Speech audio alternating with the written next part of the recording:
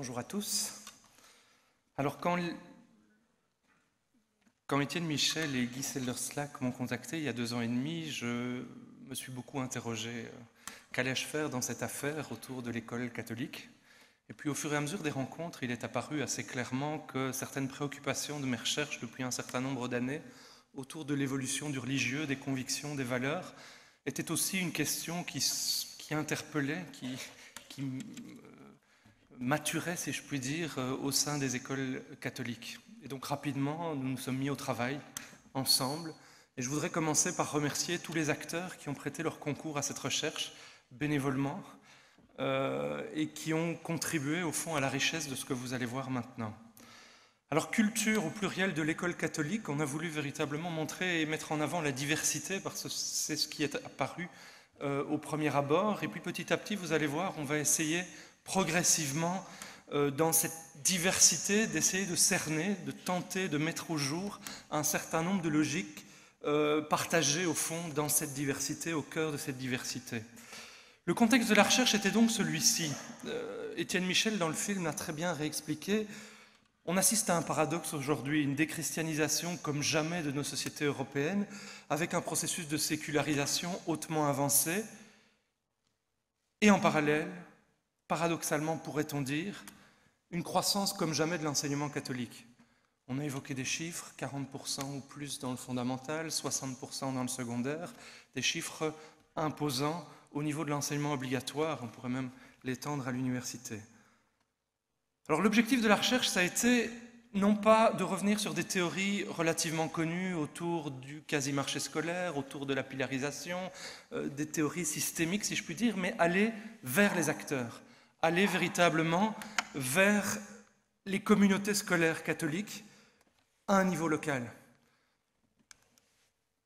L'idée était véritablement d'essayer de comprendre ce choix à travers les membres de ces écoles, à travers les valeurs qu'ils expriment, qu'ils revendiquent pour cette école, à travers les imaginaires, c'est-à-dire des représentations de l'école qui impliquent aussi une part d'émotionnel, une part d'engagement en termes de valeurs qui était exprimée. Et au final, l'objectif c'était de comprendre ce choix d'une école catholique aujourd'hui, au-delà de ce contexte institutionnel belge qui est bien connu. Alors en termes de méthodologie, nous avons d'abord procédé, et l'objectif c'était véritablement de développer un partenariat avec les écoles. Donc à une série d'entretiens avec des directeurs, nous avons choisi un certain nombre d'établissements, 12, les plus différenciés possibles. Et sur base d'entretiens avec ces directeurs, nous avons amorcé une dynamique de recherche au sein de ces 12 établissements. 8 wallons, 4 bruxellois, 6 du fondamental, 6 du secondaire, et puis dans le général, le technique, le professionnel, le spécialisé, bref, un panel véritablement varié. À partir de là, nous avons mis en œuvre, dans un premier temps, la première année de la recherche, 70 entretiens qualitatifs accompagnés de visites in situ, puisqu'une partie, une bonne partie de ces entretiens se sont déroulés dans les écoles, ce qui nous a donné l'occasion aussi de mener un certain nombre d'observations. Et à partir de ces 70 entretiens menés sur un public très diversifié, 12 directeurs, 23 parents, 12 enseignants, 11 membres de pouvoir organisateur, d'autres acteurs de l'école, et là, la variabilité est très grande en fonction du primaire ou du secondaire, euh, vu notamment le contexte de ces écoles qui est très différent. C'était le premier temps de la recherche. À partir de là, nous avons fait émerger un certain nombre de logiques, un certain nombre d'acquis euh, dans ces entretiens, vu la diversité des publics, ce qui nous a intéressé notamment, c'est les grandes contradictions, mais aussi les éléments euh, congruents, les éléments qui allaient dans la même direction.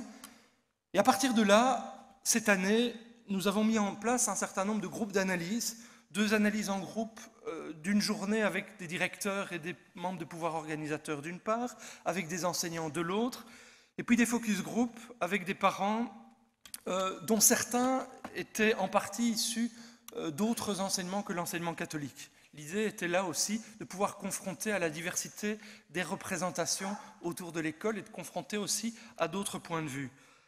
C'est véritablement les contrastes dans ce type de démarche qui permettent l'analyse. L'objectif n'est pas la représentativité quantitative, statistique, mais au contraire les logiques sous-jacentes, à partir d'une grande diversité de publics, faire véritablement émerger les lignes de fait, les lignes de jonction entre ces publics. Alors les résultats, on va en passer en revue un certain nombre, le reste sera publié notamment dans les actes. Le premier élément que vous voyez sur le slide, c'était véritablement la question de la place des convictions et valeurs dans l'école. Est-ce qu'on peut dire que sur tous ces acteurs interrogés, on a une synthèse possible? Alors, premier élément, vous le voyez au centre, en clair, on parle d'école chrétienne beaucoup plus qu'on ne parle d'école catholique. Je crois que c'est important à souligner. Euh, énormément d'acteurs, naturellement, parlent d'école chrétienne. Euh, le mot catholique référent, et on y reviendra, à une dimension plus institutionnelle qui est un petit peu, au niveau en tout cas des répondants, mise en veilleuse. Alors, quatre dimensions, quatre éléments clés autour de cette place des convictions dans l'école. Un, la transmission d'une culture, d'une histoire chrétienne. C'est apparu vraiment quelque chose d'important. Euh, peut-être un retour, une réémergence par rapport à d'autres périodes de notre histoire euh, relativement récentes, si je puis dire, années 60, fin des années 60 jusqu'à il y a quelques années. Donc la transmission de cette culture, de cette histoire chrétienne apparaît de nouveau. Et là, c'est important qu'on soit engagé chrétiennement, qu'on soit agnostique, voire qu'on soit athée ou d'une autre religion. L'histoire chrétienne est assumée comme étant une histoire qui fait partie de notre histoire commune. Deuxième élément, l'école chrétienne, c'est la garantie d'un plus, nous disent beaucoup d'interviewés. La garantie d'un plus, un plus en termes de valeur, un plus en termes de conviction, et ce plus qui était avancé par beaucoup de répondants est véritablement quelque chose qui apparaissait capital. Troisième élément sur cette place des convictions et des valeurs dans l'école, L'école chrétienne est perçue comme une école qui a une identité positive. C'est une école non pas de la neutralité, c'est une école qui avance des valeurs, qui ose avancer des valeurs, des valeurs fortes. Et cette avancée de valeurs dans une société incertaine, dans une société euh, qui ne sait pas toujours où elle va, euh, c'est perçu véritablement comme un atout de cet enseignement. Enfin, quatrième élément, l'école chrétienne, et ça nous a au départ euh, non pas surpris, mais en tout cas on a trouvé l'apport intéressant, euh, beaucoup d'intervenants la revendiquent comme une école de résistance à une dominante sociétale. Euh, une dominante sociétale face à deux éléments. Un, une hypercritique de l'individualisme. Euh, mais quand je parle de l'individualisme, je ne réfère pas à celui dont parlait hier soir Bernard Petre. là, c'est notre société, on peut dire, et c'est son fonctionnement social. Mais c'est l'hyper-individualisme, le centrage sur soi, l'égotisme, l'égoïsme aussi, qui sont là combattus et qui sont considérés comme euh, combattu par cette école, ou en tout cas relativisé, mis en critique, discuté. De même pour un système d'un capitalisme qu'on pourrait dire débridé, non régulé, d'un néolibéralisme euh, outrancier, là aussi, cette école, en affirmant un certain nombre de valeurs dont on a parlé dans le film, apparaissait en contrepoint, comme mettant en critique. Petite citation euh, d'un membre d'un PO du secondaire, le message chrétien euh, n'en est plus à devoir être divulgué uniquement dans les cours de religion, c'est aussi une manière de penser, une manière de vivre l'école et une manière de vivre son engagement dans l'école. Alors, petit à petit, ces valeurs que les répondants manifestaient, elles semblaient de plus en plus faire la synthèse progressive entre deux paniers de valeurs que les sociologues connaissent bien, des enquêtes qui sont menées tous les dix ans en Europe et donc en Belgique en tant que membre de l'Europe, met en lumière un certain nombre de hiérarchies des valeurs et d'évolution de la société au niveau de ces hiérarchies de valeurs. On parlait avant les années 70 de valeurs traditionnelles dominantes en Europe autour de religion, autorité, institution, obéissance, devoir, famille, travail, responsabilité, fidélité. Puis avec mai 68, avec un basculement, avec la montée aussi d'une société plus libérale dans les années 80, on a parlé autour du terme de postmodernisme, de valeurs postmodernes, bien sûr l'individualisme, euh, mais retenez en rouge surtout l'épanouissement, la liberté, la sincérité, la tolérance, la spontanéité, l'intensité, la convivialité, l'amitié, l'égalité. Dans ce qu'avançaient les répondants, systématiquement, on avait une synthèse qui était opérée entre ces deux, euh, ces deux paniers de valeurs. Comme si face à des critiques aujourd'hui qui pointent d'une société, je dirais, sans direction, d'une société postmoderne qui a peut-être mis un petit peu trop l'accent sur cet épanouissement individuel, il fallait revenir à un équilibre, à une synthèse nouvelle et qui correspond tout à fait à des évolutions constatées dans le récent baromètre de 2010 autour euh, des valeurs des Belges euh, en 2010. Donc un enseignement catholique qui, au fond, sent assez bien les évolutions de cette société et y répond. Alors bien entendu, il y a des contradictions, les individus sont complexes, entre valeurs en soi et valeurs pour soi, on n'est pas toujours d'accord entre ces pratiques et puis la manière dont on rêve les choses. Sur les valeurs en général, beaucoup de répondants euh, considéraient par exemple la multiculturalité comme quelque chose d'excessivement positif, mais rapidement un paradoxe se faisait euh, voir quand il s'agissait d'appliquer à son enfant. On voyait véritablement que l'homogénéité culturelle ou sociale était de facto perçue comme plus positivement dans le fait de gérer son enfant. Alors clairement derrière ce qui était intéressant, c'est les peurs sous-jacentes qu'il va falloir affronter, dont il va falloir discuter euh, abondamment le propos. la diversité fait peur euh, quand elle est un frein au progrès de son enfant, surtout dans le fondamental. On a véritablement vu cette question-là poindre. Ou alors euh, le sentiment de phagocytage culturel, se vivre comme minoritaire chez soi, être mis à la marche. Et c'était véritablement des questions qui s'explicitaient en termes de valeurs qu'il va falloir prendre en compte. Troisième point, la question de ce que j'ai appelé l'imaginaire, ça veut dire ces représentations investies d'affectivité forte, euh, euh, intégrées avec des, valeurs, matinées de valeurs. D'abord l'imaginaire des parents autour de cette école, et on va prendre deux acteurs parce qu'on ne peut pas tous les prendre, euh, les parents et puis euh, les directeurs. Alors au niveau des parents, il est tout à fait clair que cette école chrétienne, c'est une école, un, où il y a une nécessité de s'investir. Ce n'est pas une école, euh, même si ça peut paraître étrange, mais ce n'est pas une école où on dépose uniquement l'enfant. Il y a la conscience, même si on regrette qu'on ne peut pas toujours le faire parfaitement, euh, voire on culpabilise parce qu'on a l'impression qu'on n'est pas à la hauteur, mais il y a véritablement la reconnaissance de la nécessité dans l'école chrétienne de s'investir en tant que parent, voire en tant que tous les acteurs, et notamment pour les parents euh, sur la question du suivi de l'enfant. Alors, c'est complété d'un deuxième élément. Ben, l'école chrétienne, c'est une école qui est conçue comme une école qui est stricte, puis vous voyez en gras les éléments et souligner les éléments forts, disciplinée, exigeante, mais juste, respectueuse, et c'est ça qui en fait sa renommée. C'est l'équilibre entre les deux éléments.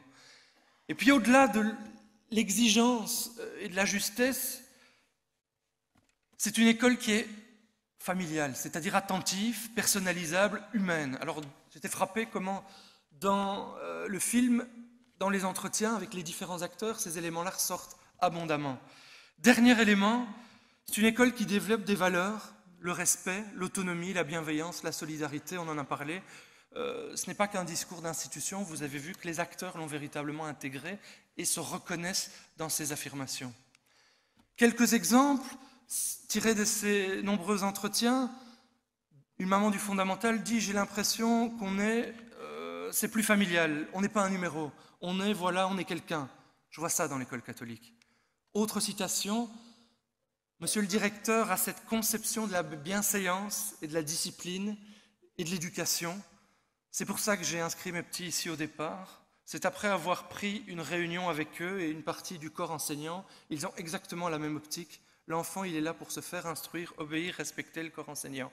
Alors c'était quelqu'un de milieu, on, dirait de manière un peu basique, plus populaire, euh, mais cette question de la rigueur, mais qui va toujours avec la question de la justice, avec la question de la bienveillance, si je puis dire, est quelque chose de fondamental. Alors j'ai parlé des parents, je parlerai maintenant des directeurs et de leur imaginaire à eux autour de cette école chrétienne. Pour eux, l'école chrétienne, c'est aussi une école où les acteurs s'investissent gratuitement, c'est souligné. Je ne pourrais pas fonctionner sans cet investissement bénévole, sans cet investissement volontaire. Et vous voyez, ce n'est pas le suivi des enfants comme le pensent évidemment les parents à partir de leur perspective, de parents d'enfants, mais ici c'est responsable d'une institution, d'un établissement scolaire. Et donc, on est responsable de cet investissement collectif dans l'institution. On retrouve les mots de discipliné, d'exigeante et de réputé, compensés par de nouveau humain et familial. Et enfin, quatrième point, et qui s'apparente beaucoup à ce qu'on a vu pour les parents, c'est une école qui développe des valeurs. Respect, autonomie, bienveillance, là aussi ressortent. Et donc vous voyez qu'entre parents et directeurs, et derrière les directeurs, on retrouve aussi les enseignants, beaucoup de similitudes, beaucoup de convergences. Quatrième point, j'en arrive à ce que nous avons appelé le schéma de quête de l'école catholique idéal pour les acteurs. Est-ce qu'au fond, on peut essayer de donner un sens, rêver, imaginer, représenter à l'école chrétienne à partir des différentes interventions des acteurs? On s'est basé sur le schéma de quête de Greimas, le grand sémiologue, euh, et l'idée de ce schéma, c'est d'essayer de voir au fond quel est l'acteur central pour les différents répondants de l'école, de l'établissement scolaire, quel est son objectif central et qu'est-ce qu'il favorise cet objectif ou au contraire le freine? Le sujet donc va être l'acteur central de l'école, l'objet, le but de cette école, et puis pour arriver à atteindre cet objet, ou on pourrait dire cet objectif, un certain nombre d'adjuvants, d'aides, de personnes qui vont aider à cette quête, ce qui va aider au fond l'acteur principal à réussir sa mission, et enfin ce qui va s'y opposer, ce qui va s'opposer à cette quête. À partir de là, on a configuré tous les discours qu'on avait euh, recueillis, et on a essayé de construire une trame, euh, qui est une trame évidemment simplifiée. Les, les, articles qui sortiront plus tard vont approfondir la complexité évidemment de ces éléments. Pour les directeurs, un certain nombre d'éléments ressortent de manière claire. Alors, il est important de dire que pour les directeurs aussi, on a véritablement un acteur qui configure autour de lui tous les autres. C'est-à-dire que beaucoup de conceptions de l'école vont se retrouver, avec quelques nuances selon les différents acteurs, vont se retrouver euh, dans cette personne, cette fonction aussi qui est incarnée par les directeurs. Alors pour lui, l'acteur central, ou pour eux, l'acteur central, c'est la communauté scolaire. Et le mot culture d'école est beaucoup avancé. Donc c'est un acteur qui a véritablement le sens du collectif. Il est conscient que sa mission dépasse largement uniquement celle de sa propre personne. Je ne peux pas fonctionner sans tous mes partenaires que sont les enseignants, que sont tous les autres acteurs du monde professionnel de l'école, que sont les parents et que sont bien entendu les élèves. Un acteur collectif et pas individuel qui doit amener l'élève le plus haut possible. Alors cet élément-là, il est capital. Non pas élitisme, mais rigueur, aller le plus loin possible, excellence. Et l'excellence, elle est définie comme ça. Amener chaque élève là où il est le plus haut possible, en sachant que chacun de ses élèves peut partir de points différents. Pour ce faire, le directeur a un certain nombre d'adjuvants qu'il conçoit, qu'il se représente. Il dit, ben, un adjuvant pour ce projet de communauté scolaire, euh, c'est un directeur à l'écoute, connaissant son école, organisé, le directeur conçoit aussi qu'un atout, c'est un règlement, un règlement qui est bien fait, qui est juste, et qu'on va pouvoir appliquer dans cet esprit de justice. C'est des enseignants motivés, c'est un PO ou des PO en confiance, c'est des élèves motivés, disciplinés, c'est des parents partenaires cohérents, impliqués, notamment les associations de parents. C'est des valeurs d'ouverture, de proximité, d'humanité. Ce qui s'oppose à ce projet, d'excellence pour tous. C'est un directeur absent, des parents consommateurs zélés ou passifs, c'est des enseignants désinvestis ou trop critiques, ou manquant de formation ou de vocation. Le mot vocation est venu souvent. C'est des pouvoirs organisateurs absents, méfiants ou trop présents. C'est des élèves dissipés et désintéressés. Quand on leur demandait qu'est-ce qu'une bonne école pour vous, et la question était posée aussi dans le film que nous avons vu, une école dans laquelle chacun a le cœur de faire aussi bien que possible son travail à chaque moment. Moi, je dirais le bien-être des enfants. La grande ligne de conduite, c'est ça, que les enfants soient heureux de venir à l'école. C'est un lieu dans lequel chacun se sent accueilli, se sent porté, se sent respecté pour ce qu'il est, encouragé. Le respect des valeurs. On, a partout, on en a partout, mais c'est aussi à nous à apporter autre chose comme valeur. Ou peut-être à marquer plus le sens des valeurs qu'on peut apporter. Le deuxième critère d'une bonne école, me euh, disait un directeur, c'est quand même une certaine convivialité, un esprit, une culture, une culture d'école, la voilà, qui ferait qu'on peut s'approprier cette culture, on peut se sentir chez soi, et quand je dis on, c'est aussi bien les élèves que le personnel et que les parents. Sentiment, volonté d'une communauté scolaire véritable. Une école où on est proche de l'être humain et une école quand même de proximité. Je passe aux parents. Alors je ne rentrerai pas dans tous les détails en profondeur. L'idée, c'est de voir au fond quels sont les axes de différence et les axes de ressemblance. Pour les parents, l'école, c'est d'avant tout l'école. C'est-à-dire qu'il n'y a pas évidemment une conception de l'intérieur, qu'elle soit systémique, qu'elle soit à partir de la classe. c'est un service public. C'est quelque chose qui est au service du collectif. Le but de cette école, ça va être de prendre l'élève là où il est et l'amener le plus haut possible. Tiens, une similitude très forte avec les directions. Avec deux éléments qui sont mis chaque fois en avant et tout de suite immédiatement après, s'épanouir, atteindre un bon niveau. L'épanouissance mêlée, liée immédiatement à l'excellence pour tous. Adjuvant un esprit de rigueur et de discipline, des enseignants compétents, motivés, impliqués, vous voyez, on retrouve des éléments proches, des enseignants désinvestis et fonctionnaires, et le terme vient souvent, mais en sachant que rapidement, on nous cite des exemples qui n'en sont pas, c'est-à-dire des contre-exemples d'enseignants au contraire motivés et qui suscitent l'admiration. Alors parmi ces opposants sont cités aussi ce que les parents appellent les ralentisseurs. Ça veut dire des, éléments contextuels, éventuellement aussi euh, des personnes qui ralentissent ce projet, qui freinent ce projet et qui sont multiples. Il y a véritablement conscience de la complexité. Citation autour des parents, quand on leur posait la question au fond quel est le but de l'école, une maman du secondaire répondait trouver son épanouissement personnel, c'est tout, c'est trouver sa place, c'est d'avoir envie de faire des choses, de s'intéresser à des choses, l'envie d'apprendre. Un papa du fondamental nous disait, mais je crois qu'ils ont quand même une politique d'essayer de tirer vers le haut les enfants les plus faibles, vous voyez? Donc ça c'est quelque chose qui m'a attiré dans l'école aussi. Une maman du fondamental, une bonne école catholique, c'est une école qui est très ciblée, qui ne ressemble pas aux autres et qui prenne en compte l'enfant, la personne, l'individu en personne. Vous voyez, on n'est pas dans l'hyper-individualisme dont je parlais, c'est justement de prendre en compte l'individualisme, comme le disait hier soir Bernard Petre, prendre l'individualisme au sérieux, c'est-à-dire la personne. Les enseignants maintenant. Alors les enseignants nous ont souvent répondu à partir de l'élève. On voit véritablement que leur mission, c'est une mission de terrain. C'est une mission relationnelle, c'est une mission à un niveau, et on le voyait là aussi dans le film, au niveau de la classe, mais derrière la classe, au niveau de chacun des élèves. Donc l'acteur de sa réussite, dit l'enseignant, ce n'est pas le système, ce n'est pas l'institution, c'est d'abord l'élève lui-même. Et donc l'élève va devoir se prendre là où il est, et le système, l'école, chacun des acteurs va essayer de l'amener le plus haut possible Et on va essayer de lui transmettre des valeurs et il va essayer de s'en transmettre lui-même quelque part, c'est-à-dire de se les construire.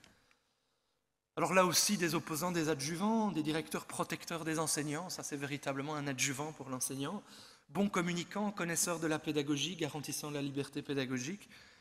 Il y a véritablement beaucoup d'exigences sur leurs directeurs. J'espère qu'ils seront donc très patients.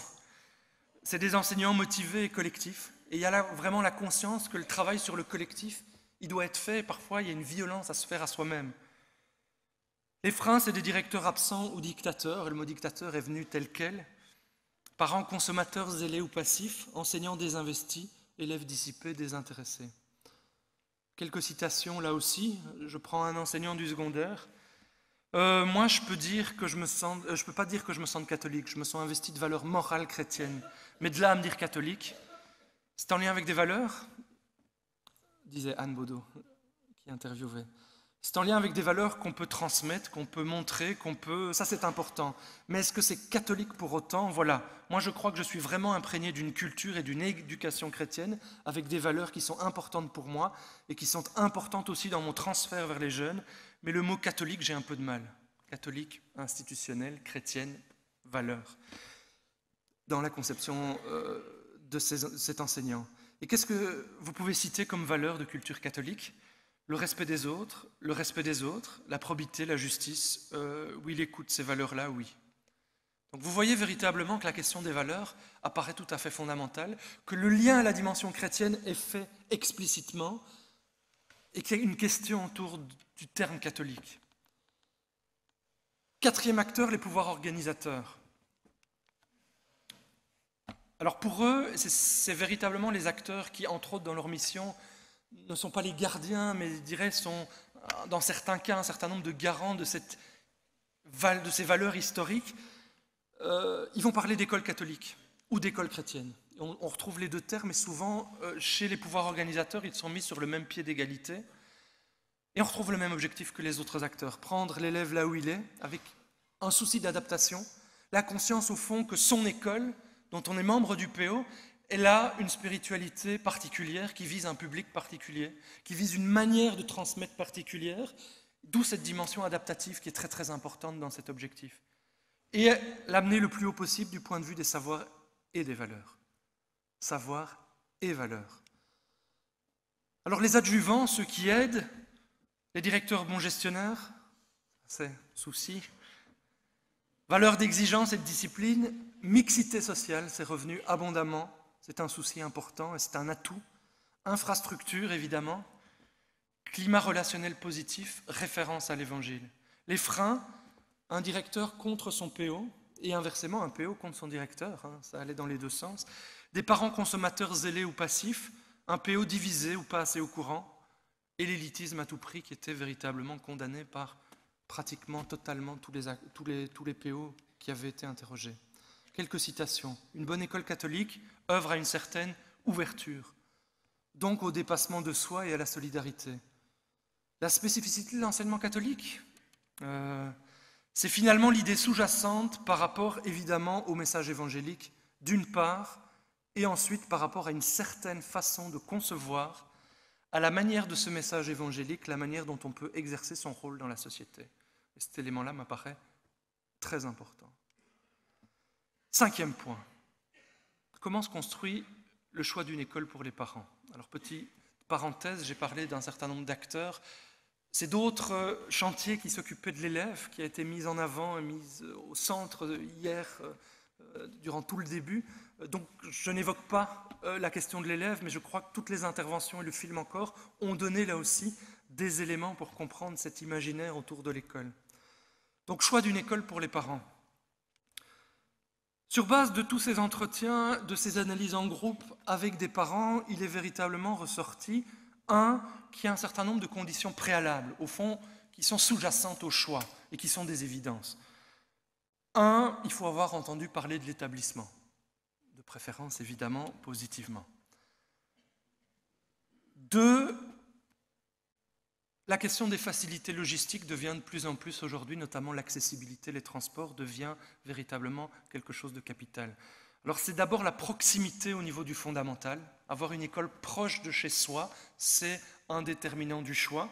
Et puis l'accessibilité comme principe de réalité. À partir du secondaire, l'enfant peut s'autonomiser un petit peu, mais est-ce qu'il est accessible en termes de transport en commun, en termes de rythme familial, etc. etc. C'est des conditions préalables. Sur base de ces conditions préalables, un certain nombre d'écoles se donnent dans la majorité des lieux de la Wallonie et de Bruxelles se donnent à voir.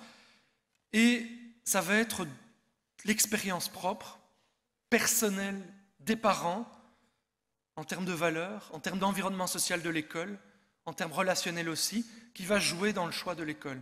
Donc cette expérience propre d'une relation à l'établissement va être fondamentale va être capital. On se détermine en lien avec une relation, relation directeur, relation parent. Expérience propre qui va être complétée de l'expérience d'autrui. On a été sidéré comme le mot réputation revient énormément. La question de la réputation, elle ne va pas se construire uniquement dans des médias, à travers, on pourrait dire, une logique de classement, mais avec la question du bouche à oreille des choses excessivement compliquées à étudier, mais qui sont révélatrices dans les discours.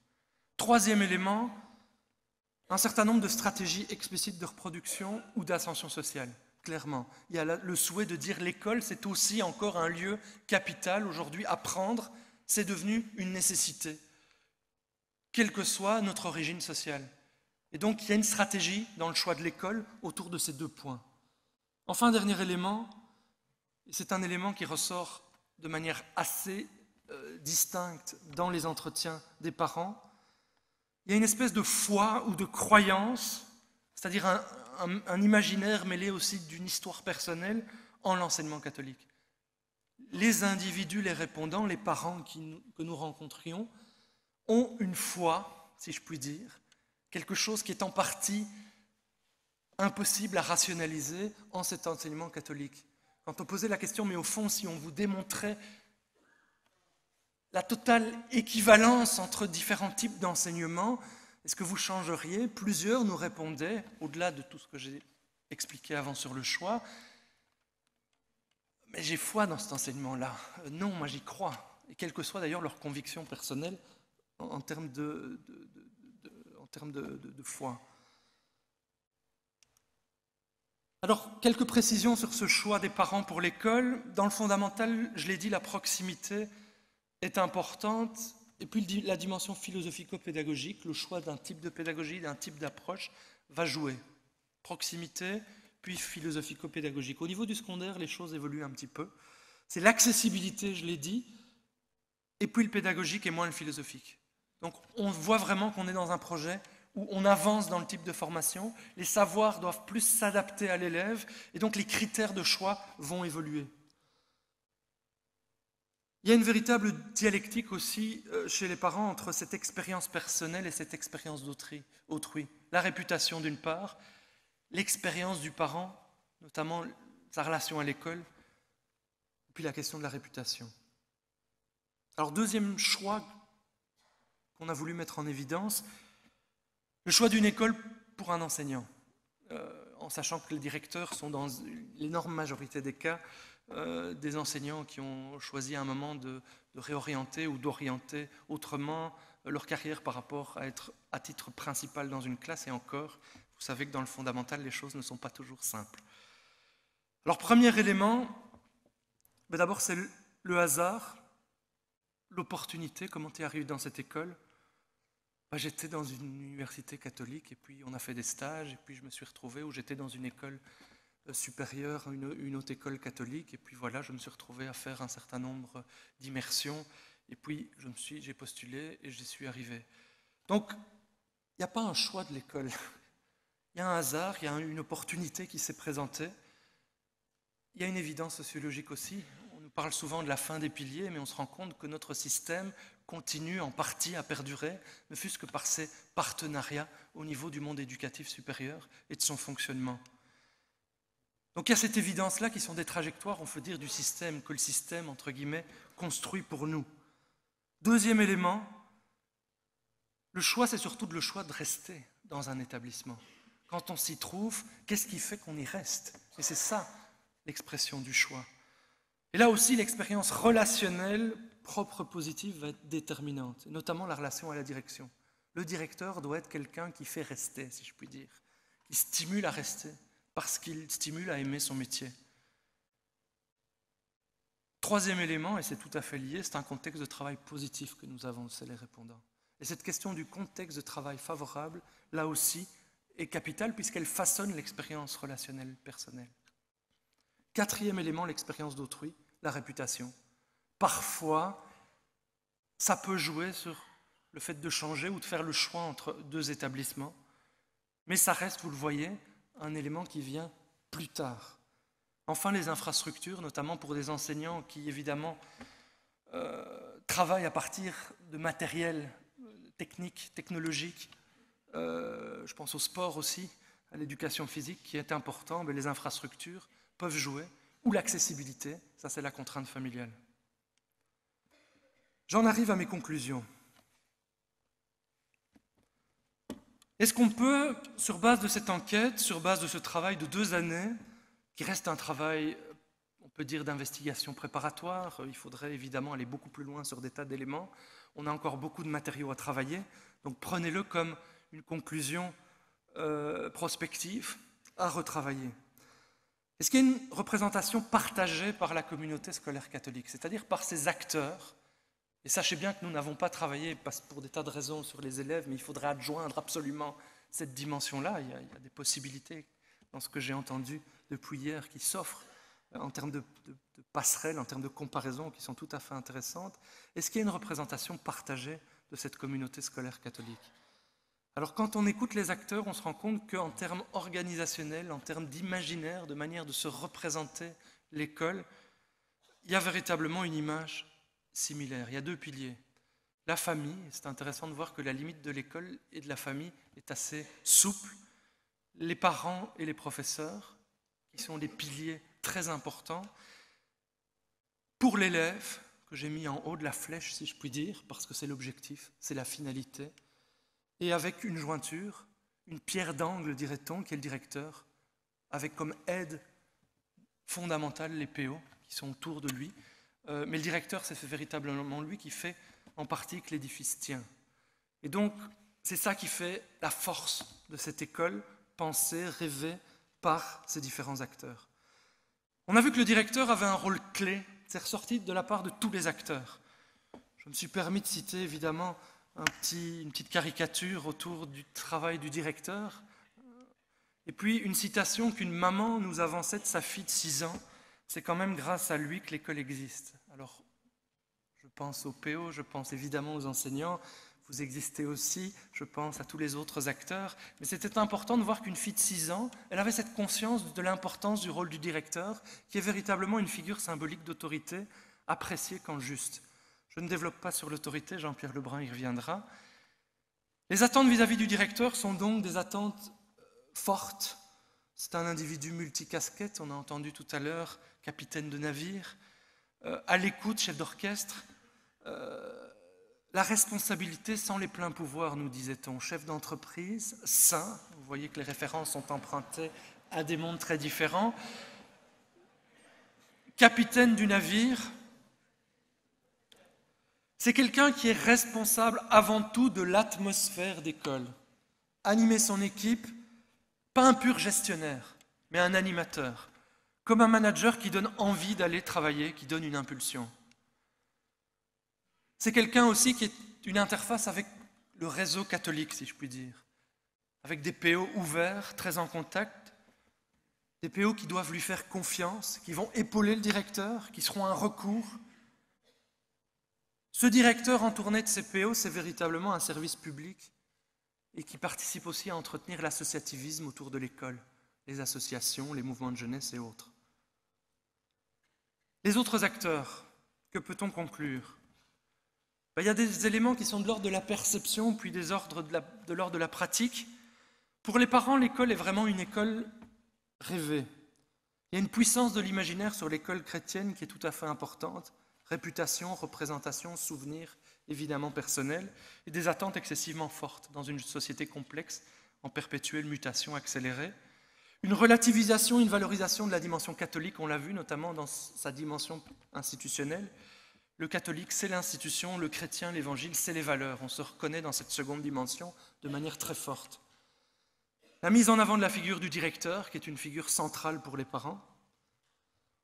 Alors pour les enseignants, il ressort une relative fragilisation, et je crois qu'il faut y être très attentif dans les années à venir. Beaucoup d'enseignants que nous avons rencontrés nous disaient, à part un noyau de plus en plus restreint, beaucoup de nos collègues ne sont pas nécessairement toujours là par conviction particulière en l'enseignement catholique mais par un hasard ou par des déterminants sociologiques. Tous ces enseignants revendiquent une autonomie au niveau pédagogique, et on voit que cette autonomie pédagogique est véritablement quelque chose qu'ils recherchent dans l'enseignement catholique, qui fonde en partie le choix de rester. On passe véritablement sociologiquement de la vocation, du don de soi, qui était un peu l'imaginaire de l'enseignant il y a deux ou trois générations, à un enseignant expert avec des interventions ciblées, et c'est particulièrement le cas au niveau du secondaire, avec toutes les questions évidemment que ça pose. Une organisation peut-être trop cloisonnée, nous disent certains enseignants du secondaire, par discipline ou cycle, qui favorise une logique qui préside à un certain désinvestissement. On fait son expertise et on s'en va. Et enfin, un PO adjuvant ou absent, et qui pose évidemment énormément de questions pour le futur. Alors au final, de tous ces acteurs, quelles sont les attentes vis-à-vis de l'école catholique, de cette école chrétienne telle qu'ils l'appellent majoritairement? Au niveau du fondamental, une certaine clarté dans ces attentes, des savoirs de base clairs, lire, écrire, calculer, avec une communauté plus familiale pour encadrer tout cela. Au niveau du secondaire, un équilibre entre transmission, notamment spécialisée ou plus technique, et esprit critique. Vous avez vu que dans le film, là aussi, la notion d'esprit critique revient abondamment. Elle est capitale, elle est mise en avant systématiquement. Analyse, réflexion, rigueur, formation, mais aussi citoyenneté, être acteur de sa formation, choisir sa voie. Il y a une opposition structurante qui ressort de toutes ces attentes. Entre milieux populaires ou traditionnels, il y a une revendication plus pragmatique, faire respecter les règles, cadrer, transmettre, et puis des milieux plus aisés ou des classes moyennes qui, elles, sont très attentives à la notion d'épanouissement. Et ce qui est intéressant de voir, c'est que quand on a vu tout à l'heure les valeurs auxquelles répond et renvoie l'école catholique, elle arrive à combiner en fait ces deux objectifs qui apparaissent centraux. La justice, la rigueur, mais aussi l'épanouissement. Quatrième point au niveau de ces attentes, il y a une critique de la fonction pédagogique en secondaire avec un rejet de l'ultra-spécialisation au détriment de la collaboration. Et a cette conscience-là au niveau de tous les acteurs qu'on a interrogés et qui posent véritablement question face à des évolutions en cours. Enfin, cinquième point clair, capital au niveau de ces attentes, il y a la recherche de l'équité et non de l'égalitarisme. Il y a le refus d'une école du moule au profit d'une école qui va prendre chaque enfant là où il est pour l'amener le plus haut possible, nous disent les acteurs.